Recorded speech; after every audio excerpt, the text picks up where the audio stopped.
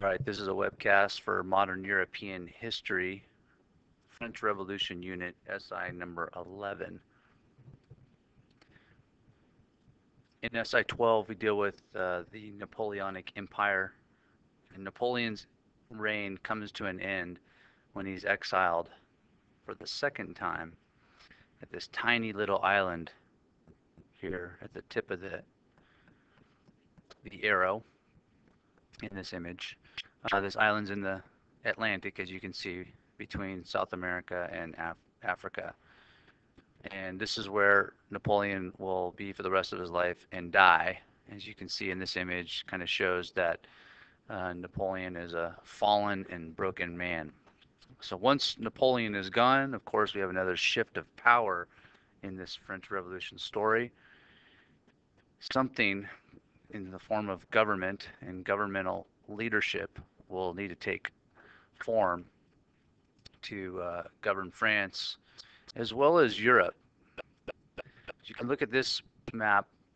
This map shows kind of the uh, expansion of the French Empire. If you use the dark blue and the and the light blue, shows the French Empire and those countries that were controlled by Napoleon. Remember, Spain had Napoleon's brother put on the throne. So this light blue shows not France, but an extension of France.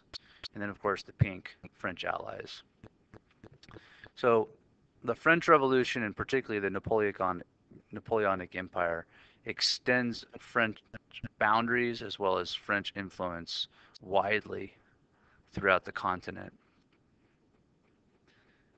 Therefore, when Napoleon is removed, not only France, but these other nation states in Europe are going to go through some type of transformation politically. This map is, is a nice map. It, it kind of shows you what the boundaries after the Napoleonic Empire will look like in Europe starting in 1815. And I want to point out this bold magenta color here that is the boundary of the German Confederation. So all along, we've seen in Europe the Holy Roman Empire, made up of various Germanic kingdoms, princes, kind of cobbled together. And now we're starting to see a, a step forward towards the making of the nation of Germany. But before we do that, we're going to see a confederation of German states being formed together. That's that's an important move in European history, and certainly relates to uh, this SI number 11, as you will see. So here's your title slide. Uh, these are the subjects that we want to kind of work through and understand. Um, the subject of SI 11 is the Congress of Vienna and the restoration of uh, of Europe following the Napoleonic Empire years. This is a sketch of the Congress of Vienna. You can see there's quite a few people there. Um, these are all diplomats and heads of states from the European nations that are coming together to meet and uh, conduct diplomacy to figure out what is Europe going to look like now that Napoleon has been uh, exiled. Another sketch kind of shows you the same thing. You can see there's a lot of people involved, um, pointing to maps. So one of the things that they're really trying to reconfigure here is border lines, national borders. Uh, one of the other things that this sketch kind of gets us involved with also is that um, besides the political, there's also a gathering of uh, these national leaders, along with their families, their wives, their kids, uh, all of the, their advisors that help them to conduct national business, uh, descended upon Vienna. Let me go back and show you Vienna, Vienna here, the Austrian Empire. And really, it was a party. It was certainly a political event, political diplomacy, but it was also a party to celebrate uh, the defeat of Napoleon and the demise of Napoleon. So some important concepts with this Congress of Vienna story is legitimacy and restoration. So I've defined them here, and you kind of want to look to see how these get plugged into some of these other topics that we're going to cover. Uh, legitimacy or legitimate. One of the concepts of the Congress of Vienna is to restore the former ruling families that were deposed or kicked out of power because of the French Revolution and how, and also how the French Revolution kind of extended into other other nations. So the restoring of legitimate ruler families. That's we're talking about monarchies, the former monarchies that had been removed from power. There's a video clip. Uh, I suggest that you watch this. You can start at 11 minutes 32 seconds. It will it will pick up with the Congress of Vienna story. Guy tells the story much like I'm trying to do now, but in a different way, and and uh, maybe with some other insight, it might be helpful tool for you. So to work through the SI topics, uh, we have the statesman, part A, and you can see the nations represented. Uh, these are the most important nations represented in their leadership. The guy pictured here on this slide is Clemens von Metternich. So he is the uh, diplomat for Austria, and of course Austria is where Vienna is located, so they're the hosting the Congress. Um, and he's really a driving force with much of the political ideas also. So he's an important player. Some of the goals of the Congress. We've already talked about restoration. So number one goal is to restore the legitimate ruling families who had been uprooted by revolution uh, you could get a couple of examples here. So particularly in France, we know that Louis XVI was executed by the revolutionaries, ending the monarchy in France. But uh, his brother is going to be put on the the throne uh, and become the next uh, monarch uh, ruling France during this Congress of Vienna and, and, and following in the following years. Another major uh, goal and idea of the Congress of Vienna when these diplomats were meeting was to contain France. So, in order to contain France so that it won't be a future threat to them or the continent, uh, you want to make sure that you bolster up power that uh, kind of geographically surrounds France. So, we know that Great Britain is across the channel to the north and it's already a strong power, but we needed to strengthen up Spain and you can see here the Congress of Vienna borderline in this map once again. And so one of the reasons why the German states were kind of loosely binded together in this confederation style government is to make it a stronger whole to pro provide an eastern balance and containment of power uh, for France. So we kind of have a north, an east. Similar things are happening down here in unifying the, the Papal States, what becomes Italy, in the south, as well as to the west, Spain. So therefore, it can kind of contain France so that it doesn't have any uh, expansive tendencies like we saw with the Napoleonic Empire years. And that's uh, part B, the balance of power, uh, is, is what I've just described the theory of this is that if we have a balance of power, meaning all of the European nations have a similar power base politically and and economically and militarily, then uh, nobody would have a true advantage. And without a true advantage, you might not have the self-interest to attack and uh, try to extend your boundaries versus some other European state. So a balance of power would be the mechanism to provide continental peace and stability. One of the main debates in the Congress of Vienna was regarding Poland right here. You see the Kingdom of Poland pops up on the map. In the previous map that I showed you, we'll go backwards you don't you don't see Poland here. It's kind of gotten wiped off the map, and um, of course, in the Congress of Vienna, its diplomats wanted to make sure that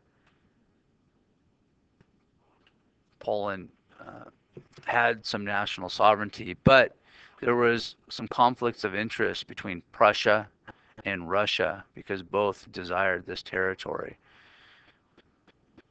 But after a lot of debate, it was agreed that uh, the Kingdom of Poland would be established there with some territorial boundaries, but it would be uh, included within the Russian Empire, and the Tsar of Russia would be kind of a, an over uh, arching political figure. So it has some sovereignty, some national identity, but not complete sovereignty or complete national identity. There's a phrase that gets thrown into the mix here with the Congress of Vienna, and that's the concert of Europe. So much like this symphonic concert is made up of different uh, players with different instruments, when they are all played together, creates this enormous and pleasing sound that we call symphonic music. And really that's what they were aiming to do here is that have all these diplomats and all these nation states work together in unison to play a pleasing sound.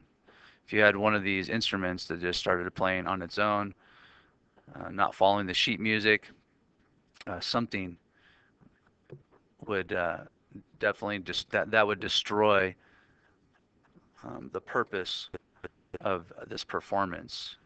So they really took this idea of a concert, a symphonic Europe, um, to really